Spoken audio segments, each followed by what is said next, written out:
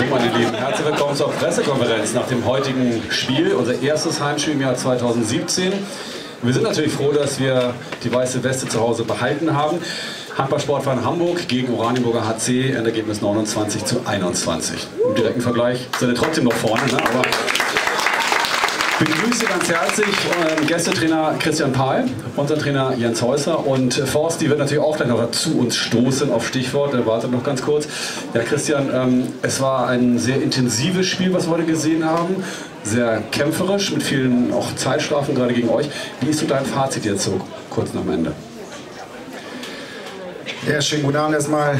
Mein herzlichen Glückwunsch an Jens und seine Truppe für diesen mehr als verdienten Sieg. Ähm, vielen Dank an euch alle für diese Stimmung. Das ist ein Highlight hier zu spielen in der dritten Liga.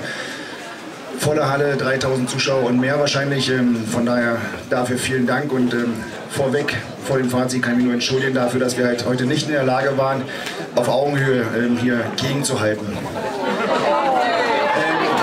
Wir haben, uns, wir haben uns natürlich schon mehr vorgenommen, das muss man ganz klar sagen. Wir hatten, haben in den letzten Wochen herausragende Leistungen gebracht und haben auch viele, viele Punkte gesammelt und wussten auch schon, was uns hier erwartet. Aber ähm, ich bin selber noch ein Stück weit sprachlos, warum wir es nicht geschafft haben, dieses, dieses Tempo aufzunehmen und mitzunehmen, auch was uns ähm, Hamburg angeboten hat. Wir wussten, dass sie massiv über ihre zweite, dritte Welle kommen. Ähm, wir haben es angesprochen und trotzdem haben wir ähm, Forst Bauer gar nicht in den Griff bekommen, von Anfang an nicht. Wir haben es über die gesamten 60 Minuten nicht geschafft.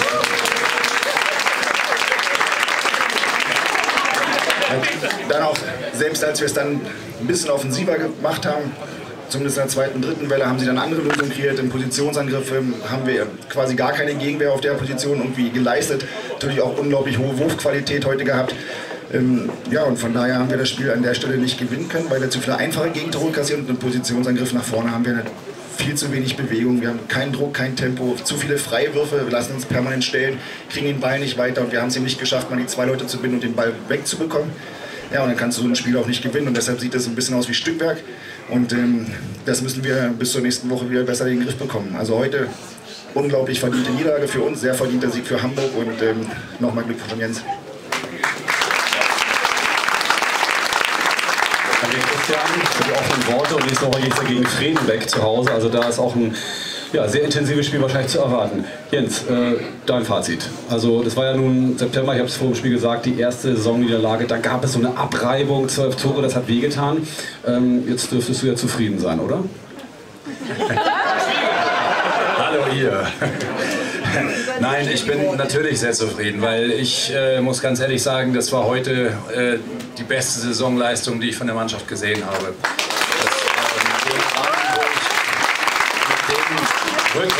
Mit den Möglichkeiten, ähm, die Oranienburg hat, äh, nur 21, 21 waren es, ja. Äh, Treffer, Gegentreffer zuzulassen, äh, ist brutal. Wir sind nicht dafür bekannt, unbedingt eine sehr stabile Abwehr zu haben, aber heute haben wir sie gehabt und das war saumäßig wichtig. Ähm, Im Angriff, wir haben das Spiel, was wir dort gemacht haben, äh, wirklich sehr, sehr lange und sehr, sehr, sehr genau äh, studiert und analysiert und haben gemacht und getan und haben irgendwann gemerkt, dass wir das Problem hatten, dass wir dort viel zu sehr über den Rückraum gekommen sind, ohne vorher genügend Bewegung in die, in die Abwehr gebracht zu haben. Und das haben wir uns heute ganz klar anders vorgenommen. Also wir haben ja auch gesehen, dass das Oranienburg immer wieder die Offensive gesucht hat. Im, Endeffekt, wenn man es mal so ein bisschen sagen darf, ich hoffe, ich trete dir nicht zu nahe, sie haben unfassbar clever eine 3-2-1 in einer 6-0 versteckt. Ähm, und da habe ich halt lange wirklich gebraucht, um dahinter zu kommen, dass es dann tatsächlich im, Ende, am Endeffekt äh, eine, eine 3-2-1-Deckung ist. Und äh, als wir angefangen haben, darüber dann die Kreuzbewegung zu laufen, mit Einläufern zu arbeiten, mit Gegenbewegung zu arbeiten, dann hatten wir auch die Räume, die die Forsti heute unfassbar gut genutzt hat, aber alle anderen auch. Auch Stulle hat heute ein Riesenspiel gemacht. Und letzten Endes, und äh, das tue ich ja dann auch nicht so häufig, ähm, will ich auch tatsächlich Basti nochmal äh, wirklich zu einem unfassbar starken Spiel äh, beglückwünschen. Er hat heute, kein einziges Tor gemacht, aber hat unfassbar gut die Mannschaft geführt und hat sie, hat sie in, in Bewegung gehalten, hat unheimlich viel geackert. Und ähm, der Lohn sind zwei Punkte, die wir wirklich auch gut gebrauchen können. Danke.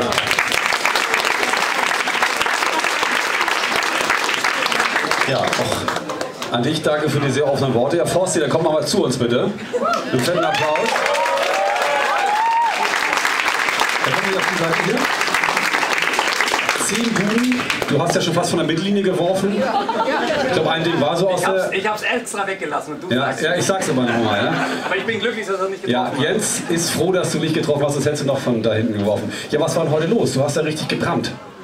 Ja, äh, guten Abend erstmal. Äh, vielen Dank nochmal für die tolle Unterstützung heute und auch letzte Woche in Magdeburg, auch wenn wir es da nicht äh, mit dem Sieg zurückzahlen konnten. Also vielen Dank dafür nochmal. Ja, heute, ich weiß auch nicht, es hat einfach geklappt und nachdem es äh, von Anfang an gut gelaufen ist und wir auch wirklich schön immer in Bewegung kamen und äh, wirklich auch, wie Jens schon gesagt hat, viel Bewegung im Angriffsspiel hatten, denke ich, das hat einfach ganz gut geklappt heute. Das hat ganz gut geklappt. Das ist Bescheidenheit. Ja, irgendwie merkst du es ja offensichtlich als Spieler. Die ersten zwei gehen rein, das auch wirst du mal weiter, ne?